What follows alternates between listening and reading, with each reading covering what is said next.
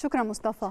التاسعة صباحا بتوقيت القاهرة السابعة بتوقيت جرينتش موجز الأخبار من التلفزيون المصري. أهلا بكم.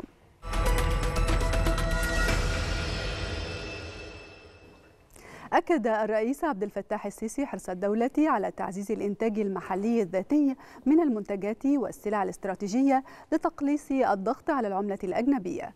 وفي مداخلة له خلال افتتاح مصنعي إنتاج الغازات الطبية والصناعية ومحطة توليد الطاقة الثلاثية في أبو رواش بالجيزة قال الرئيس السيسي إن البنوك المصرية ستغطي الاعتمادات المالية لتأمين الإفراج عن البضائع في المواني كما دعا الرئيس السيسي إلى التكاتف لمواجهة ارتفاع أسعار السلع وتخفيف المعاناة عن المواطنين مشيرا إلى أن مجمع الأسمدة الأزوتية والمقرر افتتاحه خلال الفترة المقبلة سيواكب زيادة المساحات الزراعية. أكد رئيس مجلس الوزراء مصطفى مدبولي اهتمام الحكومة بالمتابعة الدائمة لموقف توافر السلع بالأسواق. وأوضح مدبولي خلال اجتماع له أن هذا الاهتمام يأتي في إطار الحرص على ضمان توافر مختلف السلع للمواطنين بخاصة السلع الاستراتيجية بالأسعار المناسبة لا سيما مع بدء الاستعدادات الخاصة بشهر رمضان المعظم. وخلال الاجتماع تم التأكيد على أن الاحتياطي الاستراتيجي من السلع الأساسية في الحدود المطمئنة مع الإشارة إلى أن موسم توريد السكر الجديد يبدأ في شهر يناير المقبل. قال الرئيس الأوكراني فلوديمير زيلنسكي إن الوضع على الخطوط الأمامية في منطقة دونباس صعب ومؤلم وأضاف زيلنسكي أن القوات الروسية تنشر كل الموارد المتاحة لهم وهي موارد كبيرة لتحقيق تقدم عسكري في الوقت نفسه أوضح زيلنسكي أن انقطاعات الكهرباء لا تزال مستمرة عن نحو 9 ملايين من الأوكرانيين Я дякую всім нашим хлопцям, які стоять на позиціях, стоять міцно.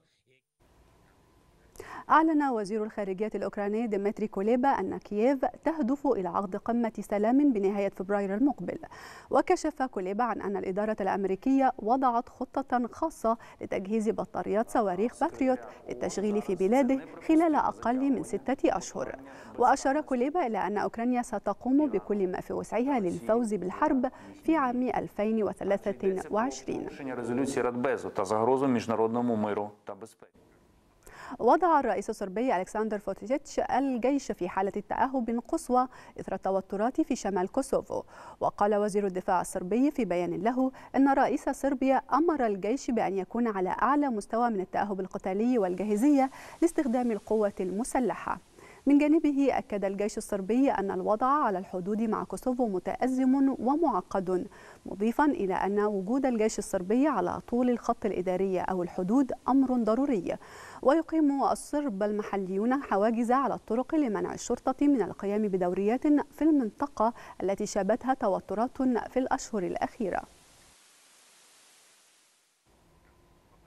أعلن الرئيس الأمريكي جو بايدن حالة الطوارئ في ولاية نيويورك جراء العاصفة الثلجية.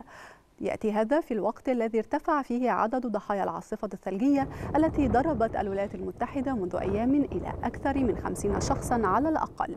هذا وقد بدأت الطواقم الطوارئ تتفقد خسائر العاصفة الثلجية والتي حرمت ملايين الأمريكيين من الاحتفال بعيد الميلاد خاصة في مناطق غرب نيويورك المغطاة بالثلوج. ووصفت العاصفة الثلجية التي تشهدها المنطقة بأنها الأسوأ في 45 عاما ما أدى إلى إلغاء آلاف الرحلات الجوية وقطع التيار الكهربائي عن ملايين الأمريكيين. مشاهدينا نهاية موجز التاسعة ونعود لاستكمال باقي فقرات صباح الخير يا مصر بعد الفاصل.